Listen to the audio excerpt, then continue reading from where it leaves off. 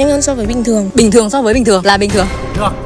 Cho chị xin thông tin của hai bạn. Phạm Thu Hà. Em 2005 ạ. em đến từ Hà Nội. Dạ em là Thái Văn Long ạ, 2004 ạ, đến từ Hà Tĩnh ạ. Cái mục tiêu gì mà để các em cố gắng vào chính cái lò luyện thi ôn topic này? Thích ạ. Chỉ đơn giản là mình thích thôi đúng không? vâng Dạ, trải nghiệm ạ, Vừa thích vừa trải nghiệm. Thế là mục tiêu các bạn là đạt topic mấy? Topic 4 ạ. Topic 3 Học bổng bao nhiêu phần trăm 80 100% thì càng tốt.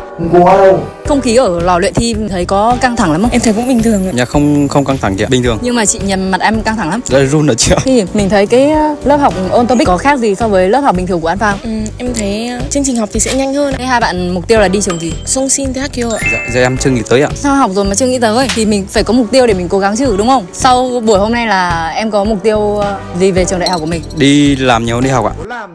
Đi làm vì đam mê hay đi học vì đam mê? Đi làm vì đam mê. Chắc chưa? Chắc Thấy nó hơi sai sai này chắc đi học vì đam mê thôi.